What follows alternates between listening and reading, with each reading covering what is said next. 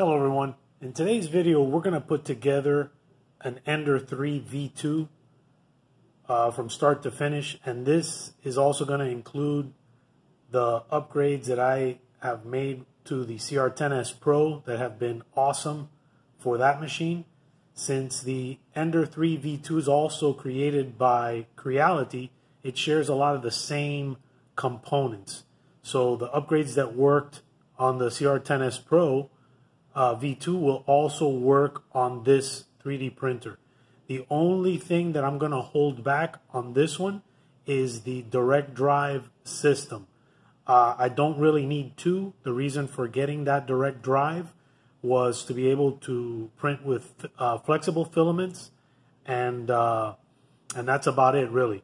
Uh, so for this kit, I won't be printing any uh, flexible filaments, but we will be adding the Micro Swiss all metal hot end, uh, as well as upgrading the firmware, adding a 50 watt heater, and uh, a new probe. So let me review the parts that we're going to add uh, to the stock Ender 3 V2, and then we'll get into unboxing and putting it together. So we got here are some 3D printed uh, parts. So these can be found on Thingiverse, and I'll go ahead and I'll include all the links of all the upgrades that we're going to do to this one. Uh, this this particular upgrade I found that is very important because it shims the uh, Z stepper motor uh, to to get it in the proper alignment with the rail. So this one for sure is good, and then uh, this one holds the Z axis rod, the screw rod, uh, at the proper distance away from the guide rail. So again, it is important. Uh, these, these are important upgrades. Uh, another thing that we have here is this replaces the plastic uh, extruder tensioner. So we'll be replacing with this one. This one's made out of uh, aluminum.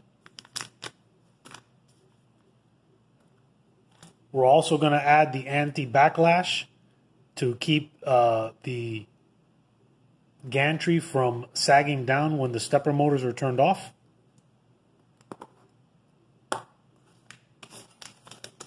Another thing we'll be adding is the Capricorn uh, tubing along with the stiffer bed springs.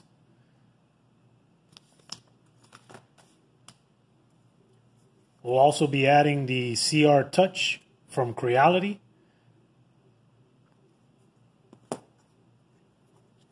Again, the Micro Swiss all metal hot end kit.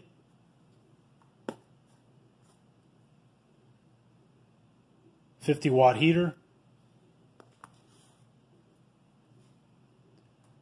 A new uh, temperature probe. And then uh, some buck uh, buck converters. So let me pull this thing out here so you can see what this thing looks like.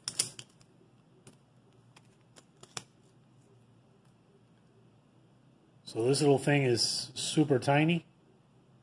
And uh, what this is going to do for us is allow us to adjust the voltage coming out of the power supply. And uh, my reason for adding these is to kind of tone down the fans a little bit. Uh, the, the fans that came with the CR10S Pro were extremely loud, and I had to upgrade those to some Noctua fans. And really, the only major difference with the Noctua fans is that they operate at a, at a little bit uh, slower speed. And I figure that we can get the same type of result by just slowing down the factory fans slightly just enough to take the edge off because they are extremely loud. This uh, Ender 3 V2 does come with the silent stepper motors. So there's not going to be doing a bunch of high-pitched whining as it's doing its movements. And that was uh, another reason why I decided to pick up this one versus just the standard Ender 3. You can pick up the uh, Ender 3 V2 currently on Amazon for about 279 bucks. Uh, taxes here in Texas is eight and a quarter percent. So for me, it was just over $300 for the printer itself. If you decide you want to do all the rest of the upgrades along with it, you add a, another 100 bucks. So for $400, uh, you get this this complete setup. I'll go ahead. I'll put all the links in the description. Those of you guys are on the fence about 3D printing, have no experience with it. Uh, this will be a good guide for you to follow. I'm going to include everything. I'm not going to leave anything out. All the details will be in the description. and I'll do my best to go through each step in uh, in detail, but not uh, exhaustive detail. Guys, if you like the videos that I've been putting out, if you're new to the channel, uh, please consider subscribing. If you find it valuable, like this video, turn on your notification bell. That way you'll be alerted to new upcoming videos. Leave me some comments. I love the comments. Share it with your friends. All right, guys, let's get started.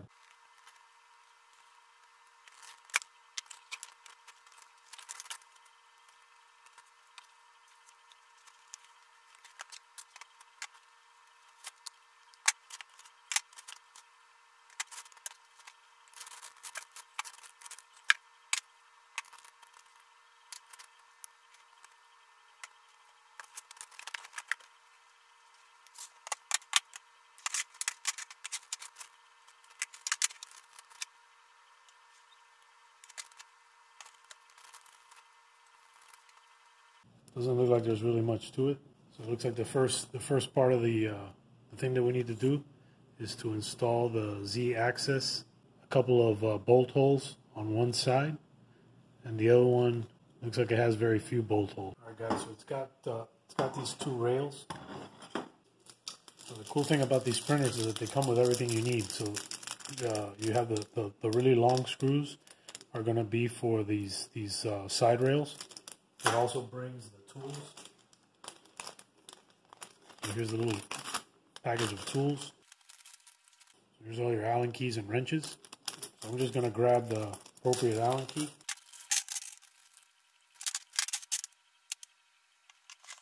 So I'm going to show you here by the front. So you got those two holes right there. And then the bolts go in from the back.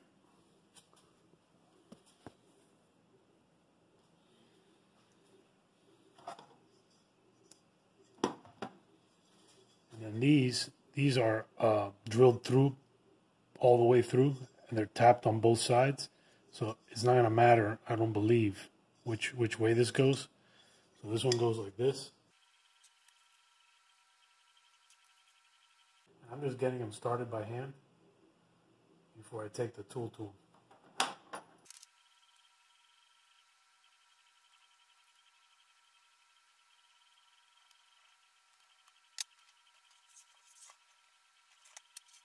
And now this one goes like this with the uh, bottom screw, the short, uh, the short screw position facing down.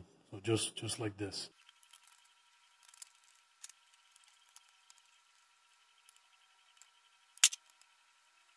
Guys, I think what I'm going to do is I'm going to leave these a little bit loose. I'm not going to crank them all the way. Because I have a feeling we're going to need to wiggle them around a little bit to get the other parts on before everything gets snugged down. Alright, let's see what's next. Alright, so the instruction shows uh, installing the Z limit switch. I'm not going to be installing this because we're going to be putting the CR touch in and it, it's going to essentially replace the function of this piece. So I'm going to leave this out. So the next part is going to be the Z-axis motor along with the Z-axis screw. And then for this, we're going to need the shims. So I'll go ahead and turn the unit around so I can show you what we're going to do here.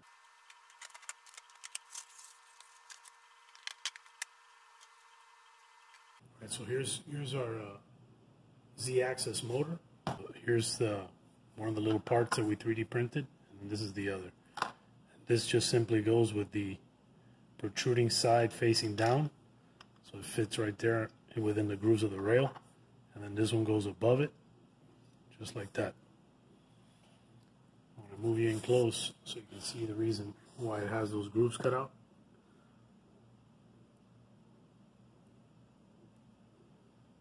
Right? And then the Z Stepper motor just simply goes right here, just like this. That's it.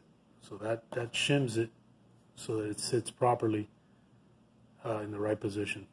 I'm just going to grab the screws for this. We'll go ahead and screw those down.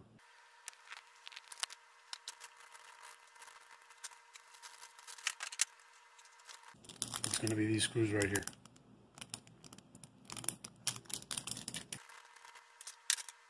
right? Since these are countersunk, that's why we need.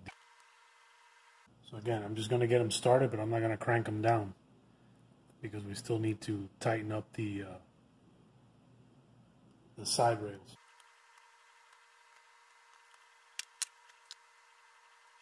All right, next up is going to be the, Z-Rod. And again, we're going to grab our little 3D printed part. You can see there's nothing there's nothing to hold this this part this part up here. So what I'm to do is I'm going to use this little thing here. Just drop it. So there's a little a little guide to hold it. So you can see from the side the reason that that thing is important. So here we got just under two centimeters. So it's like right about here. Now we come back up to the top.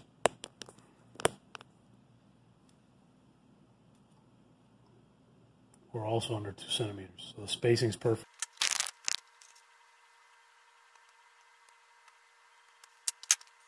All right, so next thing we got to do is uh, to set up the gantry. So before before I get into completely assembling the gantry, what we're going to do is we're going to install our little upgrade kit here. I'm going to do that real quick. This thing has a little wash lock washer. And all it is is a little bearing. So a little bearing with a lock washer. So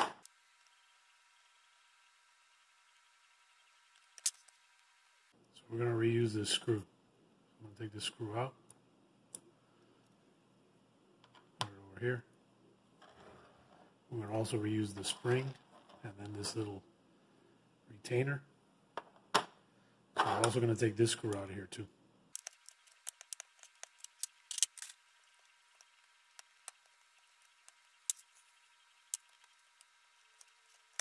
Okay, so we got to pay attention because this one, this one was a countersunk screw and then uh, the other two were were these screws right here. So all we're doing is we're replacing the plastic part for the metal version. They they they, they look exactly the same. Uh, so I would imagine all, all the same bolts will work.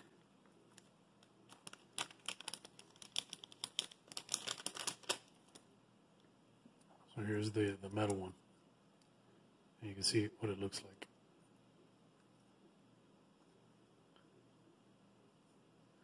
So the only thing it looks like we're going to lose is the wire holder.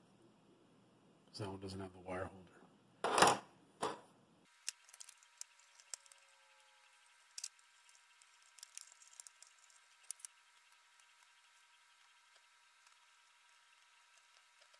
I'm tightening them, not crazy tight, tight so they don't come out with a little bit of vibration. Next thing is the arm. So the arm has a, a little insert, just like the uh, plastic one. And I think we can put the, let me see if we can put the bearing in now. Yeah, maybe. Now before I put this on, I'm going to go ahead and uh, put the spring in with the little retainer. So the retainer goes like this. So it's, so it's going to be this, the screw. All right, so, so this doesn't actually screw in. It just it just pushes on it. So you can see the the threaded part is right here, and this just this just pushes. It doesn't actually screw in. Uh, so what I'm going to do is I'm just going to put the screw on here. I'm not going to let it go all the way in.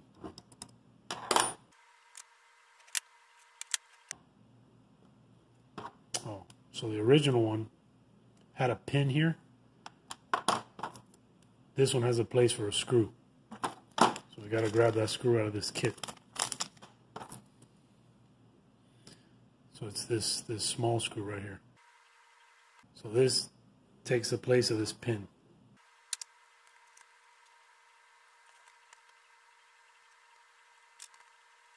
Alright, so I just put the screw in, but I didn't tighten it.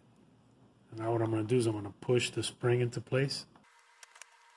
Now I'm going to go ahead and just tighten this a little bit so that it goes inside of that, that thing there. Okay, perfect.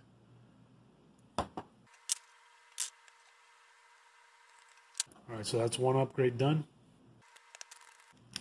While I'm here, I'm going to go ahead and, and uh, put this part back in. So this is the little PTFE tube holder. All right, another thing we want to do is uh, add the uh, anti-backlash. So here's the, the anti-backlash. And I can already see that we're going to have a problem with this. So I'm going to have to,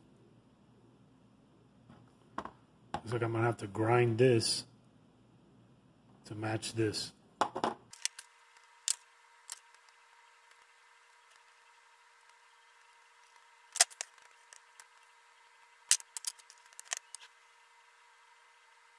Guys, I'm going to go grind this. I'll be right back. Alright, so we modified our little little piece here. So now it's got a flat side and it should uh, bolt up under here now. See that? I have to check the spacing here. It looks like the spacing is a little different too. It might still work. Anyhow, I want to show you what, uh, guys, why this is important to have this piece.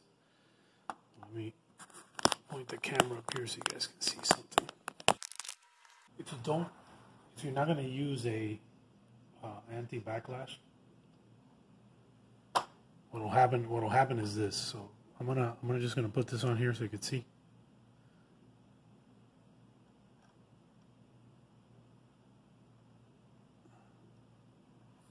See what happens?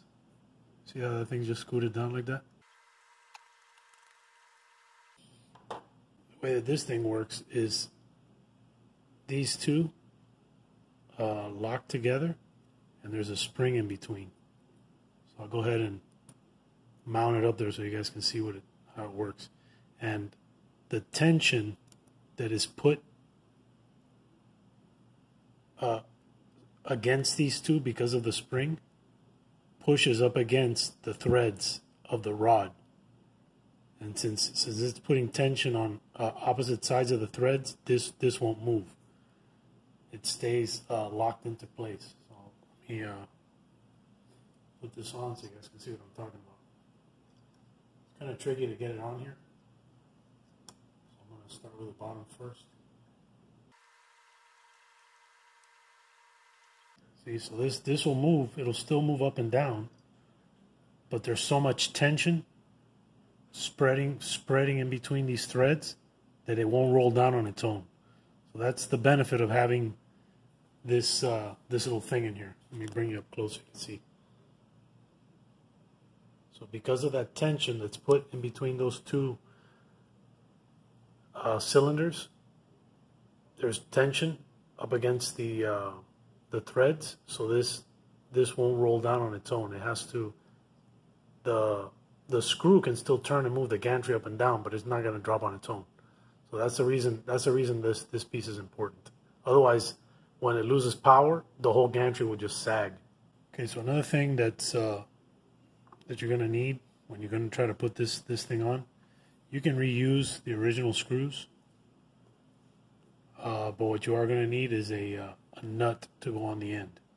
So I just I happen to have some spare nuts that go on the end of this, and I'll find out the exact size of this nut and I'll link it in the description, and uh, find a source for you, because you are going to need this nut to uh, attach this anti-backlash uh, device, because the original the original one came tapped right here. You see how it's tapped? So this this was the nut, but since we're not using this anymore, uh, it's it's no longer tapped.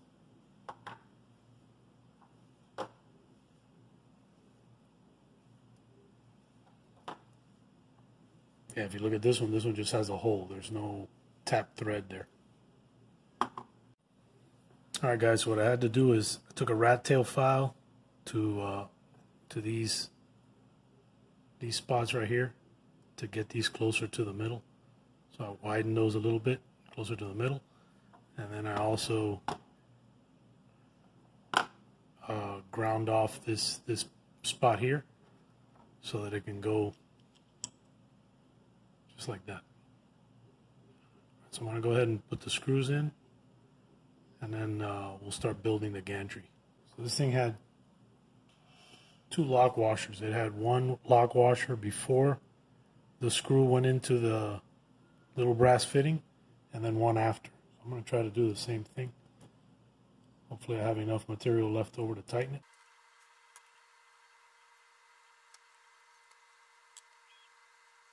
I'm gonna I'm gonna lose these lock washers on this side and just only have one on one side.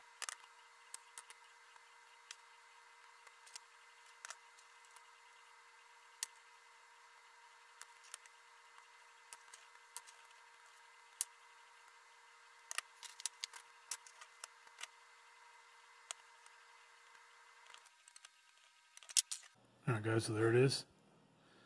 I just got to put the rest of the gantry together. So let's look at what's next here.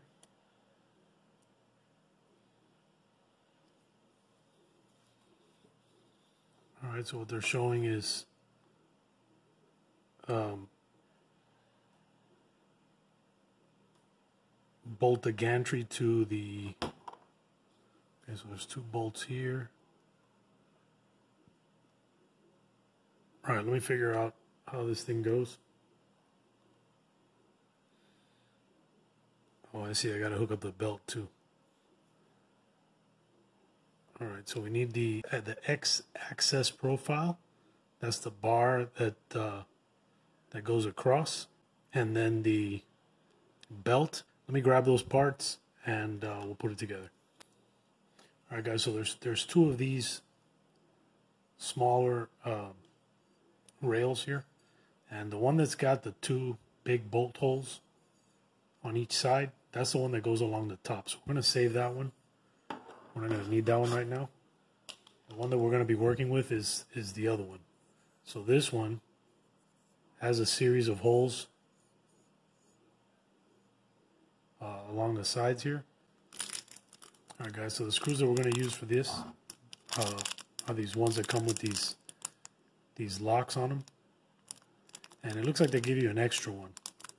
So I'm just going to go ahead and open this up. So this is what they look like right here. And we'll verify by seeing if they'll uh, screw into these threaded areas here. And they do. Perfect. Alright, so this goes like this. So the reason that this is notched out like that so it goes like that. And so I think what I'm going to do is just hold this with my finger, get this thing on here, and see if I can start threading it. Maybe.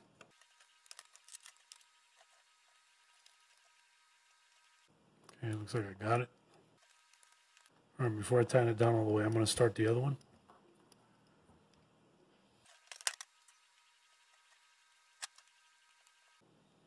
Yeah, these are a little bit tricky to get in because they didn't make the hole big enough for the whole screw to fit in with the Allen key.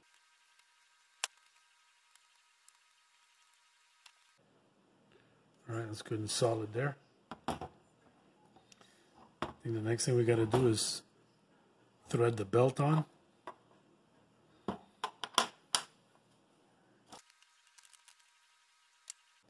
here's our little timing belt. So we just got to fish it under here. Let's see if we can push it under here.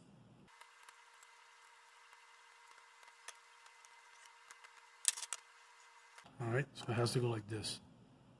All right, see it? And then the belt goes in the grooves of the channel. So now we got to do is is get the uh, the tensioner part on. So I'm gonna grab this uh, this bracket here.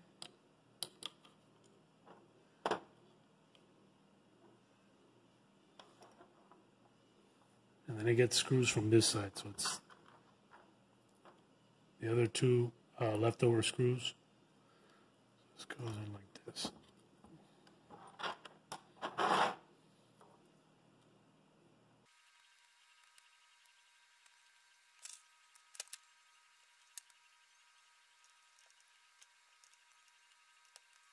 Alright, so I'm tightening them, but I'm not cranking on them crazy. Because they do have lock washers. So, it's not moving at all. All right, now now we can put this this end cap back on.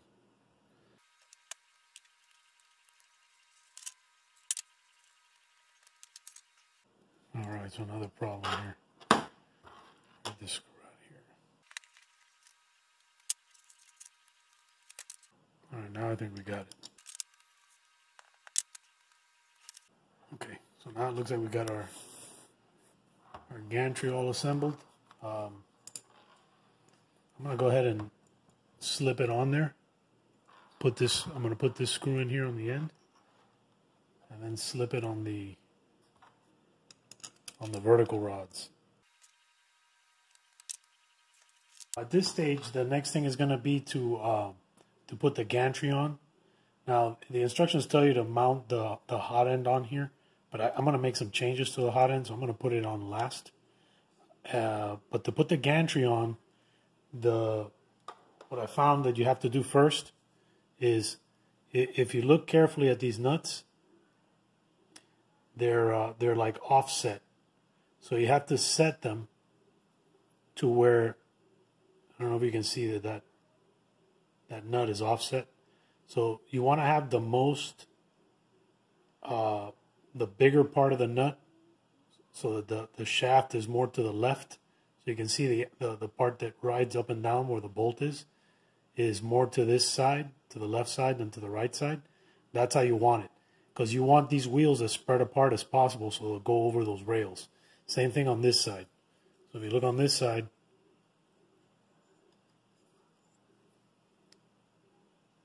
you have the same thing. So you notice the shaft runs up and down here, or the, the bolt runs up and down here, and you have more of the concentric nut on this side than you do on that side. That's how you want it. That would that would spread these legs, this wheel furthest from this side. Same thing on the other side, all right? So now what I'm going to do is just place it on top.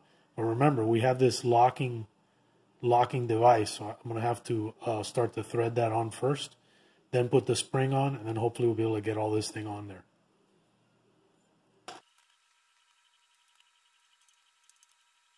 And so what I had to do is start it uh, without it being attached to the side rails. It's it's tricky to get this thing on here, but once it's on there, it, it won't move.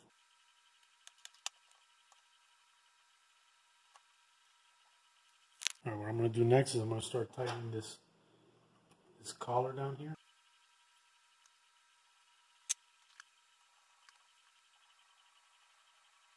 I'm going to tighten the rails down first.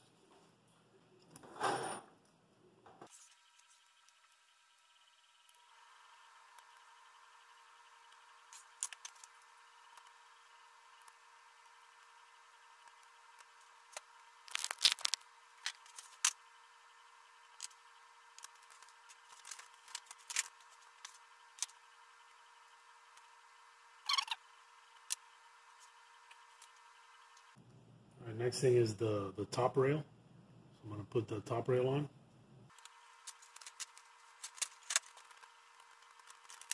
And this one uses these screws right here. So those are the ones that you need. So the, the bottom one, use this really long screw. They're the same diameter, but this was the bottom one because it had to go through all that rail. This one doesn't have to go through all that rail.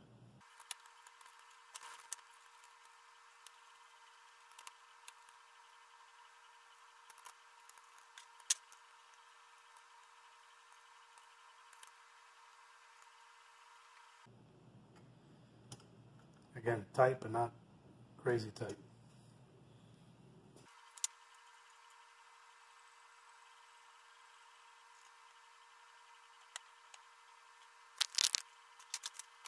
There's a couple of end caps.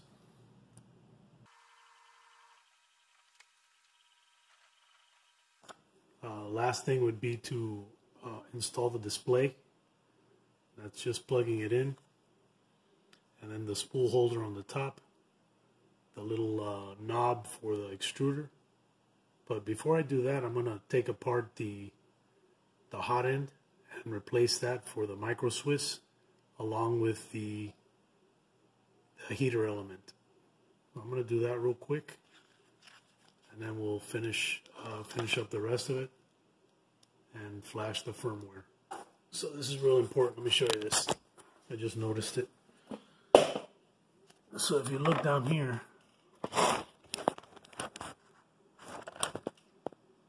currently switched to 230 volts. So we gotta, gotta switch that to uh, to 115 because we're in the U.S. At least I'm in the U.S. So I'm switching mine. So there it is, 115. So don't forget to do this because it, it came uh, set to 230 by default. So I'm glad I noticed that. Next thing we're going to work on is the hot end. And I was looking at this heater cartridge and notice that it's not going to reach all the way to the uh, power supply. So when I add this in here, it's uh, it's going to be just just short of getting inside the the power supply, I believe. I'm going to have to double check it, but it looks like it's going to be a little short. So what I'm probably going to do is um, cut the original one somewhere back in here. So I'll uh, I'll pull this this sleeve back, and then uh, so the plan is to pull this sleeve back, and then cut the two heater cables like right around here. I'll go ahead and attach the the new heater cartridge and then heat shrink the connections. So I'll solder and then heat shrink them. First let's start by taking this thing apart. And uh, this thing is actually pretty cool. The When you look at it in the picture, it looks really small, but it's, it's not that small. Uh, it's got a uh, the main fan here to blow on the on the heatsink, and then you got the parts cooling fan on the side. It's got a nice little duct here. It's a nice little compact system. Alright guys, so the mistake that I made here is that you can't take this screw out. You gotta leave that screw in there. Um, so I'm gonna show you. It's got a it's got this clip right here. And that clip won't come out. You have to push the clip down and then work this thing sideways till it till it comes out like this. All right. So uh, anyway, that's it. So I'm gonna cut this wire tie off.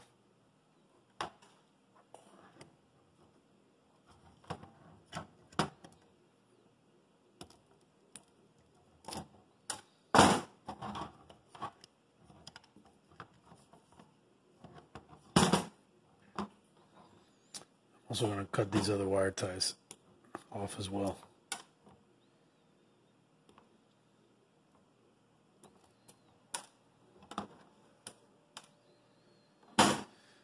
Alright, so like I said, we're going to be replacing the the heater cartridge along with the hot end. So I'm going to go ahead and take the the hot end off now. It's got a little silicone sock that you take off. And then you got to be careful with these. You don't want to bend these wires around too much.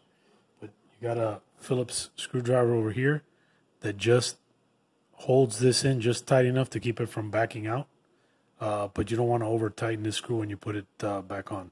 So I'm going to go ahead and take that off real quick.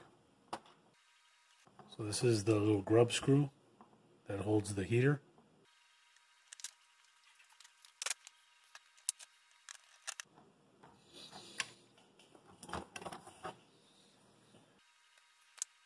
So on this, we just got to take this little clip out of here.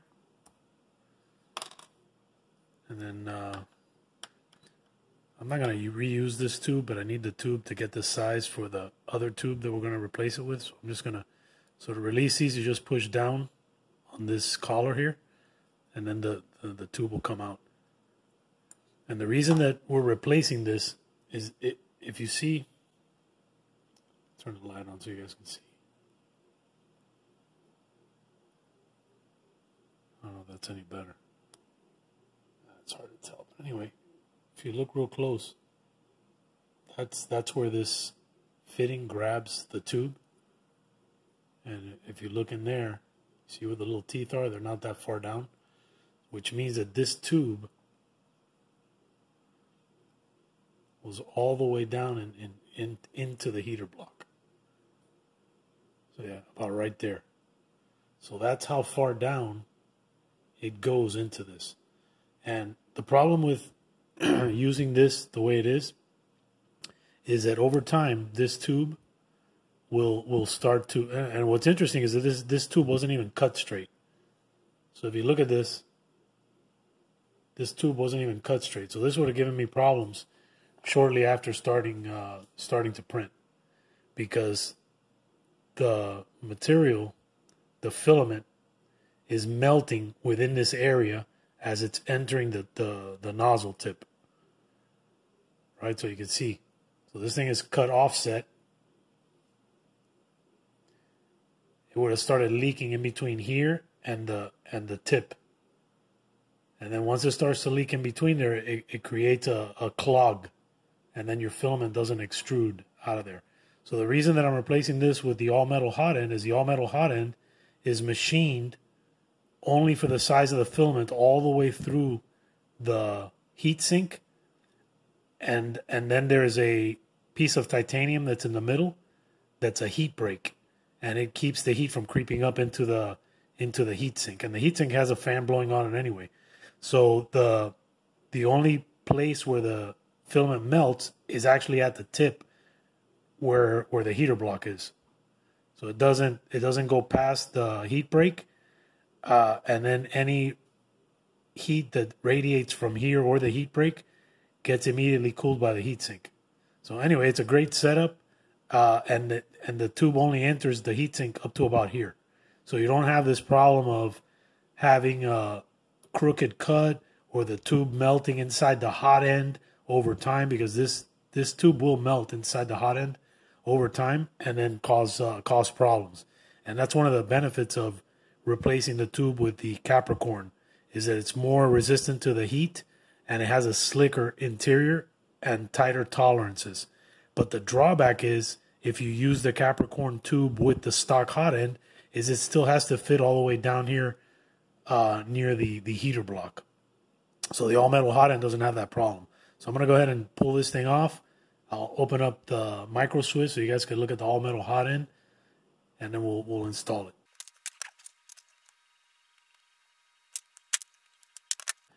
Okay, so here's the micro Swiss kit. We've got our little machined heatsink with a thermal break.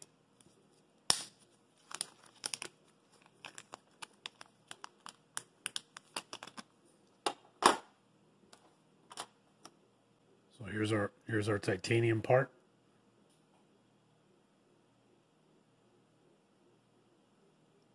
And then you can see how they machined that in there. And this is just big enough. This hole is just big enough for the filament. Let me grab a piece of filament. I'll show you. So here's the here's the filament, and see how tight that tolerance is. So the filament so right, right here, this first little step right there, that's where the tube would end. And then the filament goes down this uh, machined part and pokes right through there. You see that? See how tight that tolerance is?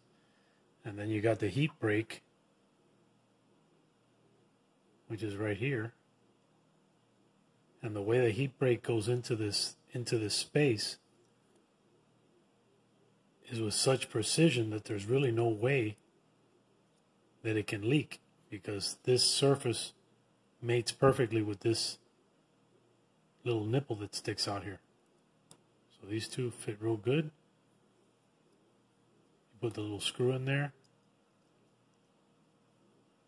And this little guy comes right out, right into the hot end. Or into the heater block where the hot end is.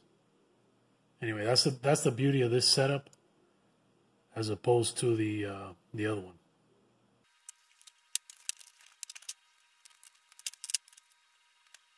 I'm just going to start it by hand. And what I'm going to do is I'm going to push down on this to make sure that it's that it's square as I'm tightening it up. And I'm going to give it a little tighten. I'm not going to get crazy, but just tighten it a little bit. Okay, so this little this little grub screw that comes with the kit, that's to hold the heat break to the heat sink. So I'm going to go ahead and I just want to just get it going. Here's another cool thing too. So there's there's two two grub screws that hold this cartridge in here. And if you look at the original one, the original one is just the the one grub screw. And they don't they don't cut a, a slot in between to really grip that uh, that heater properly. Anyway, they uh, they spend their, their extra time to make sure that they get it right. So I'm gonna I'm gonna go ahead and take this off just so I can show you guys where the Bowden tube winds up in, in this setup.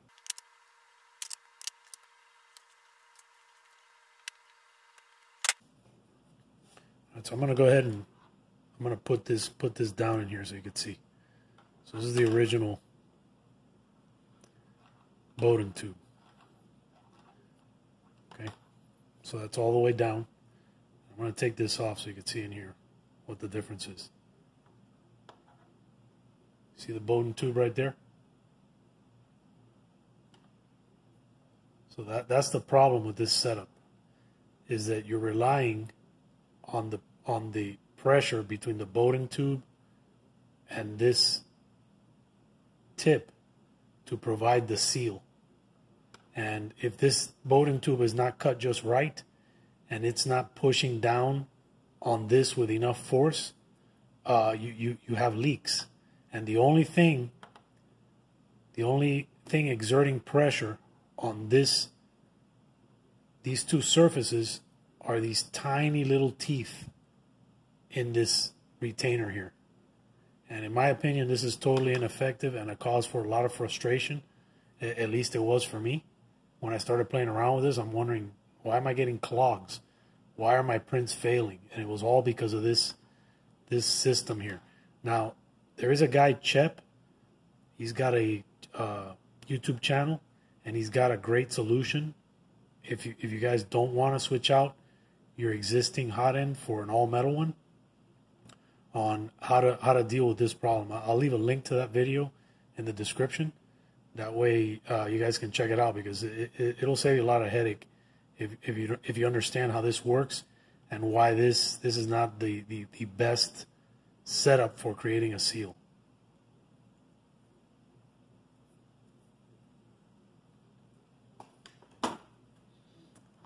So if you look here, machine surface, another machine surface, precision fit. One fits inside the other. The grub screw gets screwed down, the heater block goes in, and the filament melts as soon as it enters the heater block with the tip. But it does not melt up in here. There's no tube, there's no place for it to leak. Uh, so th- this, in my opinion, is a superior solution uh, for for melting the filament inside the hot end and not have leaks. Ever since I switched out this part on my CR10S Pro V2, I haven't had any problems. I haven't had any clogs. I haven't had any problems. So this is a great upgrade here. If if you can do any upgrade, this one would be the one. All right, so to put this this part on, the the heater block is going to fit. So if you're looking at it, if you're look, going to look at this from the front, the heater block would face with these the heater opening and the temperature probe on the side would be on the side. So this, this thing then screws in like this.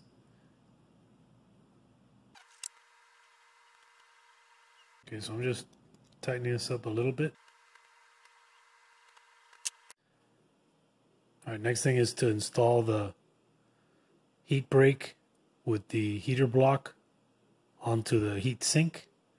And then you want to make sure that you have the opening for the heater block without the screw side on the left side. And the right side is the one that has the screws. So just like this. And if you notice, this is how it goes. Just like that.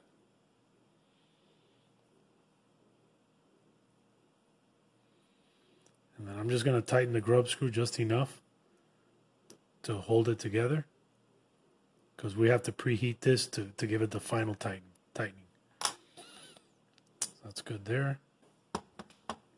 So the next thing is going to be to install the new heater probe. So I'm going to go ahead and make sure it fits in there. Yep, okay. And the plan here is to fish it through that wire loom that the Ender 3 came with, halfway down, and then cut the original one, and then solder and heat shrink the connection. So I'm going to go ahead and put the, the, the tip also on here. So you see, unlike the Bowden tube, this tip is going to meet up with that titanium heat break. So those are two precision machine surfaces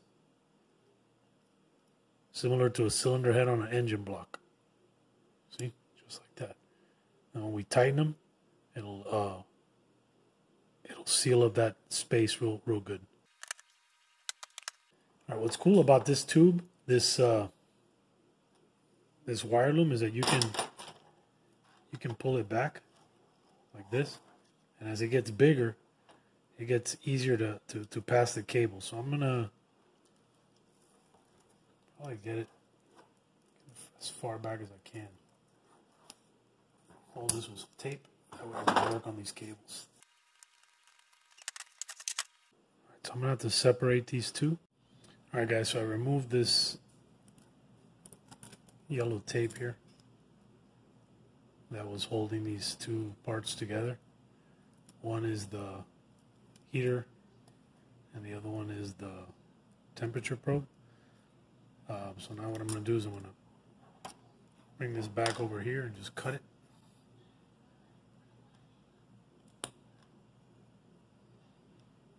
Going to strip this back right here and then put a piece of heat shrink over it and solder it to the other 50 watt heating element.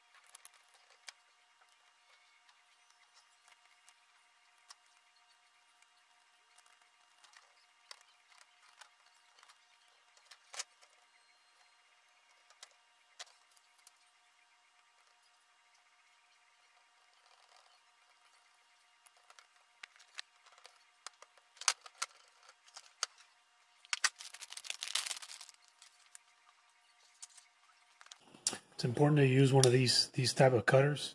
Uh, I had picked up a another kit for my CR10S Pro, and it came with with this cutter. Uh, but this particular Capricorn tube set did not come with it, so I'm gonna go ahead and use this to cut it. And it's not really so critical for this particular hot end as it is for the the the stock one because of the way that it it has to uh, attach. So the original one went in about that far uh, from where the little grips grabbed it. This one doesn't have to go in so far, so I'm going to cut mine. I'm going to cut this one right around here. And this thing just real, real nice. Cuts it nice and flat.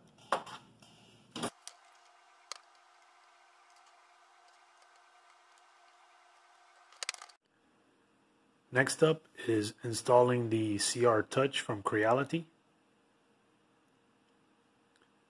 So in the box we got the CR Touch probe itself and a few brackets. So this is one bracket. And here's the probe. It's a nice looking unit. And what I like is has a metal uh, tip on it. You got the small side of the connector.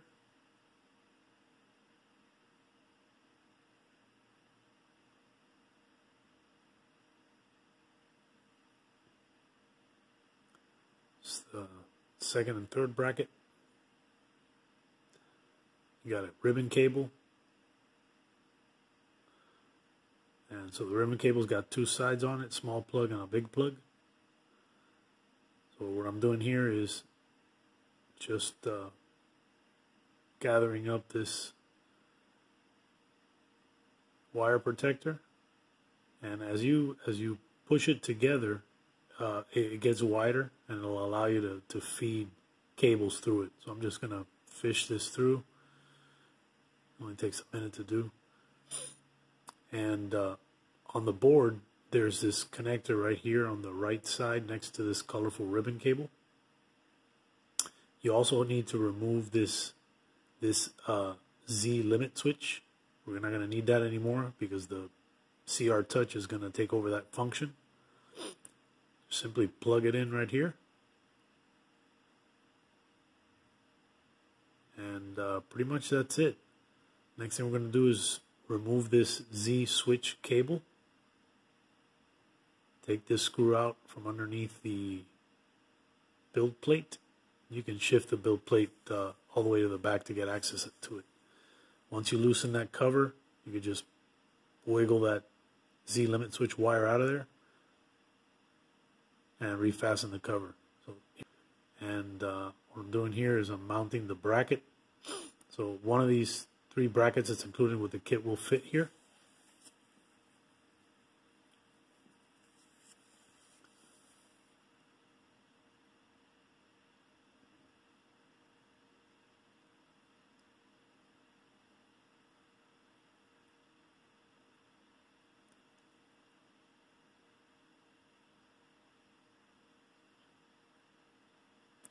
Once the bracket's on, then just install the probe.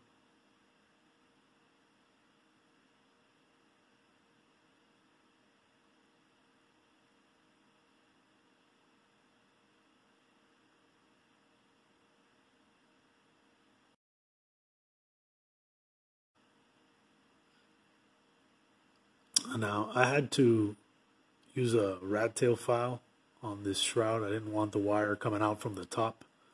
Uh, I thought that looked a little bit messy, so I was looking to make it a little bit neater. So I just cut a little notch out on the side of the plastic cover.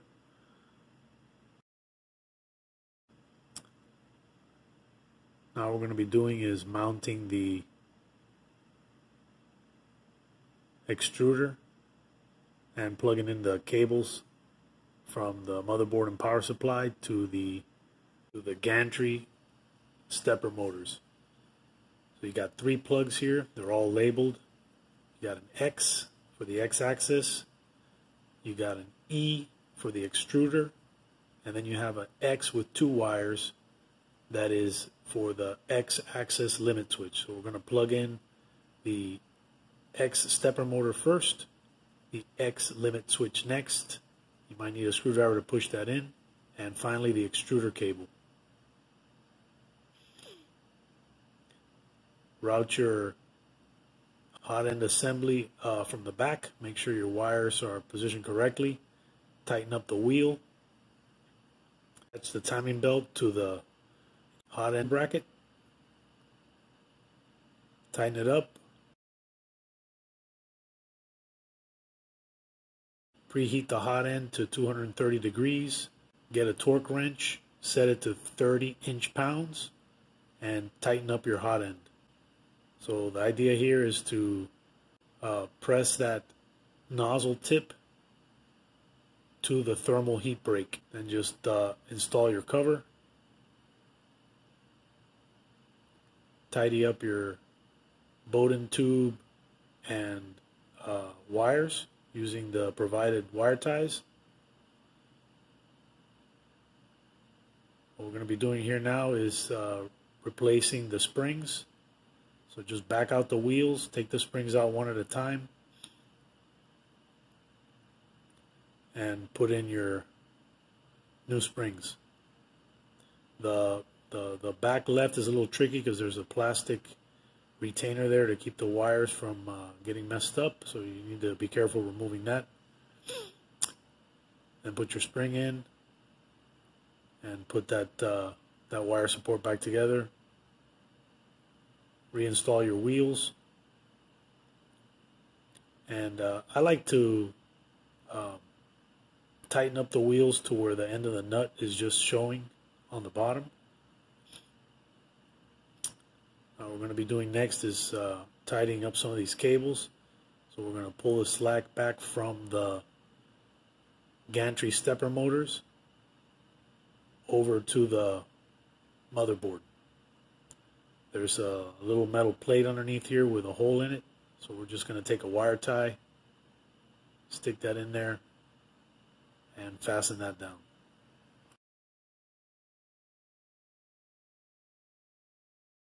So what I did here is I put a piece of uh, duct tape in here. This has a bunch of sharp edges. I was worried that it would cut into into some of this wire, so I have some duct tape in there. That should protect the wires a little bit. Now what I'm going to do is button up the bottom of it. We'll start it up and check it to make sure that everything is working. To reinstall this is pretty simple. It's just a few screws. We got one here. This is the longer one. And then a couple of short ones uh, along these, this edge over here. And down at the bottom. Uh, these screws have a, a lock washer. You can see the little markings on the metal from the lock washer. We're going to have to reinsert those and then there's another screw that comes in from the top that grabs this this uh, little bent piece of metal here. So let me go ahead and put you guys on the tripod. We'll button that up.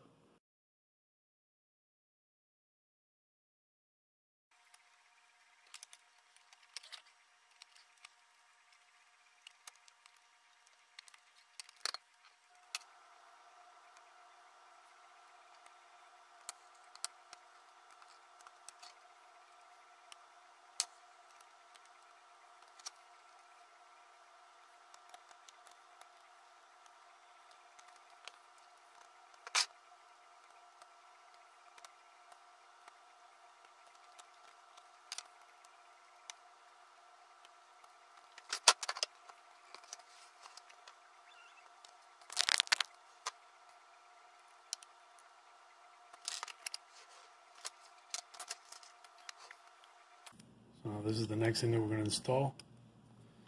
This just goes on the side here.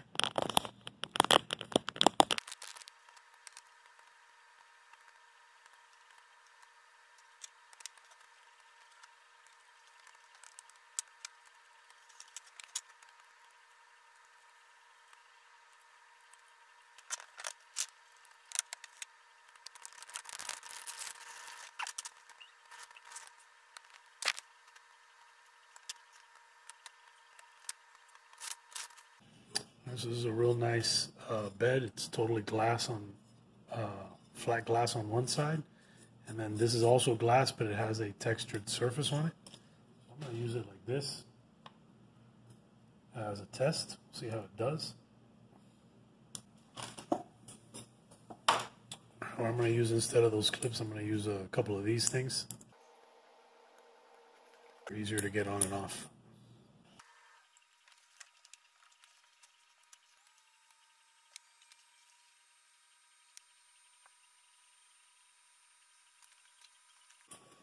Alright guys, so just like before, we got to get the uh, Z offset for the for the probe. So what I'm going to do is I'm going to take a measurement. So I got my calipers here.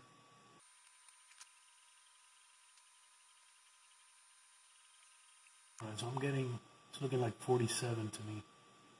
So I'm going to set it to 47, negative 47. Let's go in here, probe offset. X is uh, negative 47. And then the Y, we got to turn it sideways.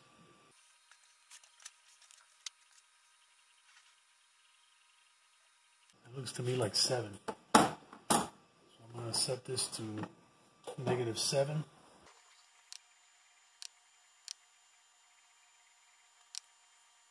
In this step, we're going to flash our firmware.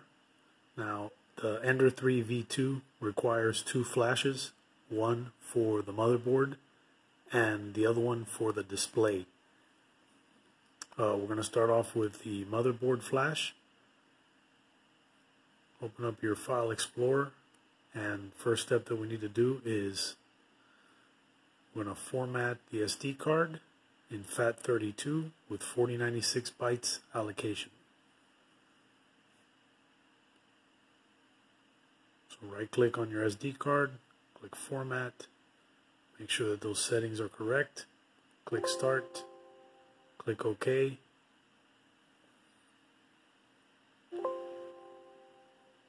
And you're done.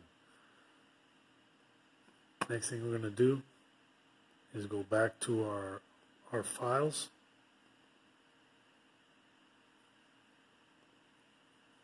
And we're going to copy the E3V2CR and BL Touch 4.2.2 Jyers UI file to the SD card. So I got them here on my desktop. I'm just going to right click on it and send it to drive M. And then just double check, make sure it's there. Alright, now we're going to head over to the 3D printer and flash the file to the printer. Take your SD card with your flash file on it. Make sure that it's labeled down. Insert it in your 3D printer. And then switch it on. It will automatically take the update and once it's complete you'll see the menu on the display screen.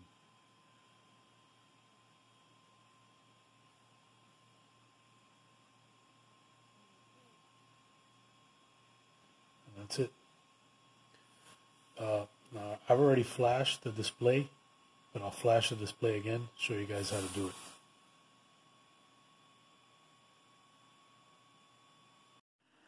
Now in this step, we're going to flash the display. So we're going to reformat the SD card again go to the SD card, right click on your SD card, click format, make sure everything is set like before, click start, yes.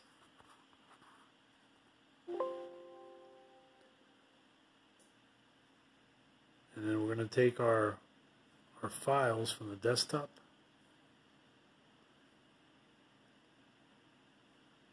We're going to right click on the dwin underscore set folder and send it to the SD card. Just check, double check your SD card, make sure it's in there. And if you want to double click on the folder, it's going to have a few files in there. Okay, so uh, let's eject the SD card And now let's head over to the printer and flash the display.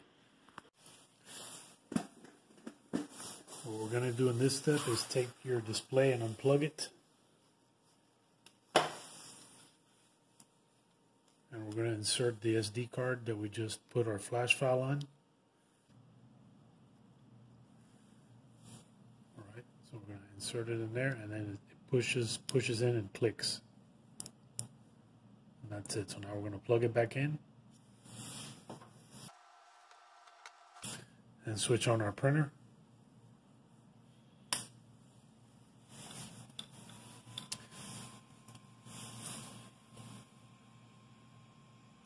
Display will go blue and when it's done flashing it'll go orange. So that's it. All you got to do at this point now is switch off the printer again. Take the SD card out of the display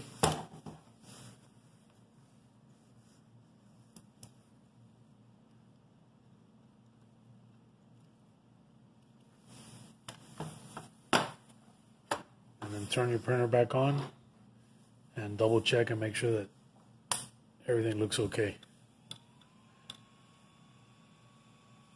So there you go. Alright, and now uh, in this firmware there's a bunch of advanced settings.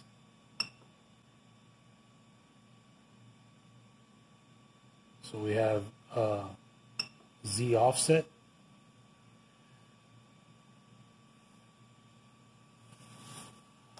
Get you guys in close so you can see.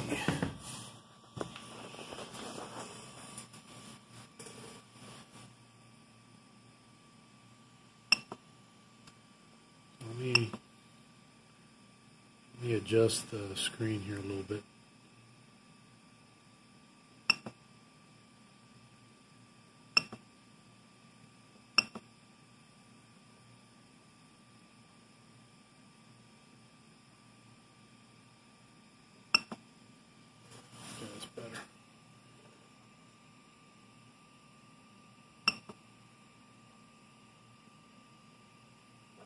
Oh, another thing too, guys, is that uh, uh, this firmware it, it'll allow temperatures up to 300 degrees. Okay, but uh, you got to make sure that your machine is set up for that. You need a special thermistor, and you also need a special heater. Uh, without those those two things, uh, you're, you're not going to get the temperature. And if you try to turn it up to 300 degrees with the stock thermistor, what will happen is uh, it, you'll melt it because it's uh, the, plastic can't handle that heat.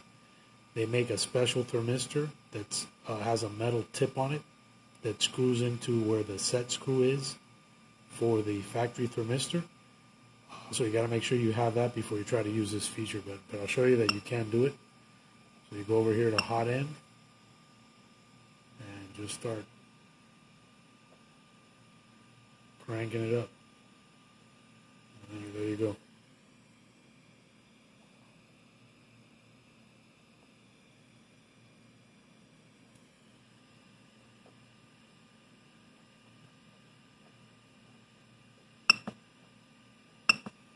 Um, there's some advanced settings in here. So you go down to advanced settings, click on it, and then where you go to uh, probe, you can set the offsets on the probe. Now, I have the offset set to the CR Touch. If you buy that kit for your Ender 3 V2, it'll come with a bracket, and once you mount it on that bracket, these are going to be the offsets. So it's negative 47 on the X, and then uh, negative 7 on the Y. And I'll show you guys how it how the uh, bed leveling works.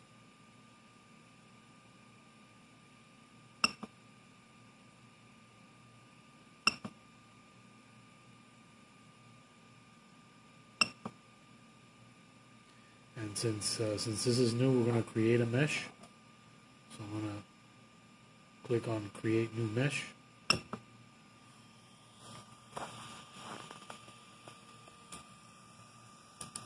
and the printer is going to run through its bed leveling routine.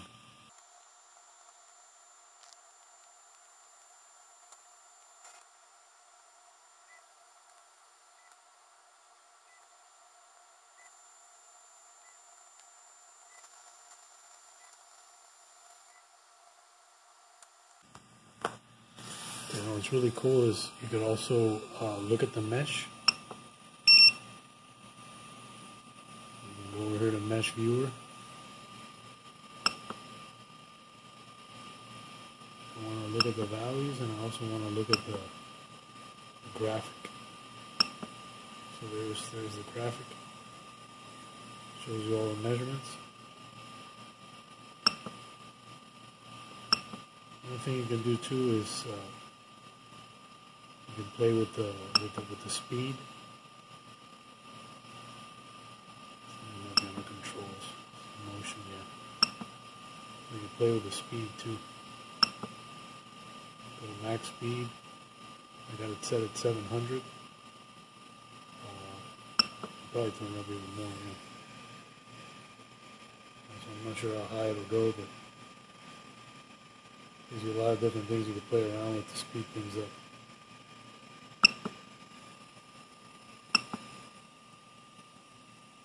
Anyway, it's got a ton of settings, probably more settings than, I know what to do with. But it's pretty cool that this is available with, uh, with just doing a flash.